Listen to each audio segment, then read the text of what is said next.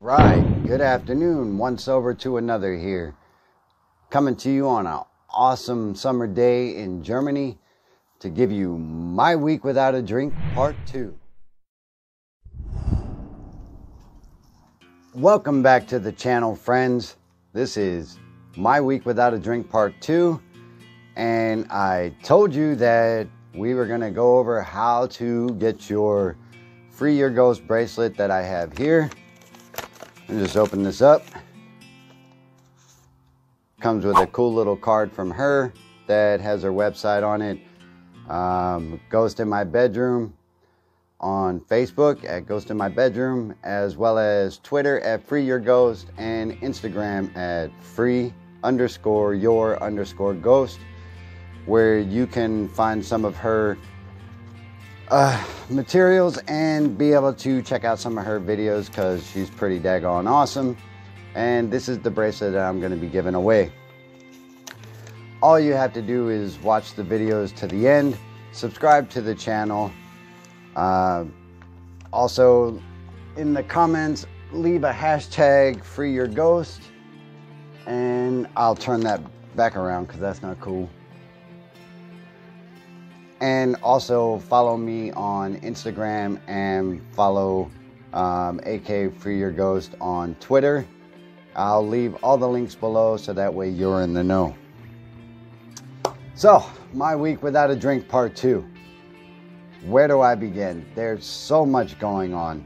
For me, it wasn't as stressful as it was on the last video, as well as for um, a video that I had on holding resentments because I not only let go of that resentment, I was able to talk to the person face to face and resolve that altogether. Why is my week without a drink important? It's important because a lot of the things that happen during your day, your week, or even one hour can shape the way you think about alcohol, can shape the way you think about addiction, and can influence whether you use or you don't use. There's so much going on. I'm going to start with the obvious. Um, with all the shootings going on in law enforcement and everything else. Now, generally, I don't like to talk about these things because they stir up a lot of controversy, but they do influence our behaviors. So, I had a whole list of all the people um, who have been wrongfully shot by police in just August alone and that list got a little extensive, so I didn't want to go line by line on those. However, what I will do is I'm gonna leave every single name in the description below so that you're able to look them up yourselves and see what happened with those incidences because they are senseless and they do drive a lot of hatred in our country and they are dividing us back to square one. The presidential campaign altogether as it's kicking up to be on the left and the right, the Republican and the Democrat, and on. It's just nasty. Um, a, I don't know how the hell we still have Donald Trump in office. Although that may start controversy itself, I'm going to say it anyway because I am an American and that's my right. He's a cartoon character who should not be sitting in a place where he has the ability to make global decisions as well as local decisions within the United States. He's like a giant baby who needs to be cured of his own self. Um, much like in alcoholism, we are giant babies and we have to be able to look beyond that instant gratification and that need to be accepted by everybody that we come across and most times more than not as an alcoholic. That's exactly what i did. I did what i had to do to blend in and i did what i had to do to get what i needed and i did what i did to be accepted among certain groups. Once i was done with those groups and those needs i discarded the person and i discarded the people and i discarded the situation altogether and i just washed my hands of it and moved about my day until the next person came along that i could get something from I hesitate because you know there there's so much that I could talk about right now that it, it's just it, it's, it's mind-boggling to have to juggle around which is more important because all are equally important. However, I can't ignore, you know, the race division in the United States. The 17 year old kid that ended up shooting uh, some folks during a riot of a demonstration in Wisconsin, he is at all faults for a bringing a rifle to a demonstration. You only have one intent if you have a rifle. That's either kill or hurt somebody. And the fact that he used that uh, demonstrates exactly what his intent was.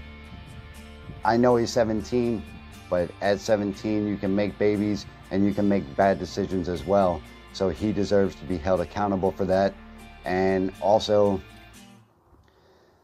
the police deserve to be held accountable for their actions as well. And how that relates to alcoholism and addiction is that people respond to all these situations, um, like I said in the beginning of this, differently. Um, if you're an alcoholic or a drug user, it might be your excuse to go use again. And I mean, shit, why not? Why not get drunk? Because it's you're not going to change the world if you drink or not. And who's it to fuck over, right? Well, as the alcoholic or the drug user, it's only to damage you. I challenge you to do this. Get some coping skills. If you don't have any, there are plenty of resources available for you that can teach you coping skills in order to deal with your stressors and your triggers and the events that happen from day to day. You don't have to pick up a drink and you don't have to use. And if that's your go to, it's even more important that you learn different skills to deal with different situations instead of the one is getting you nowhere the alcohol, the drug use, and I know it's hard to break away from those norms and it's hard to use a different approach in order to get away from uh, those stressors. And if you need help, reach out and ask for help. I mean, this is actually a caveat to my video from, from the other day. You know, how does your movie end? You are the director of your own movie. So if you know how it's going to end, it's up to you to change the beginning by either that first drink or that first drug. Only you can make the choices to not do it. And if you need help with those, reach out because that is as important as it is. And we do care about you. And definitely, I care about you. And in my alcohol use, you know, that was the first thing I did. I didn't even look at the movie.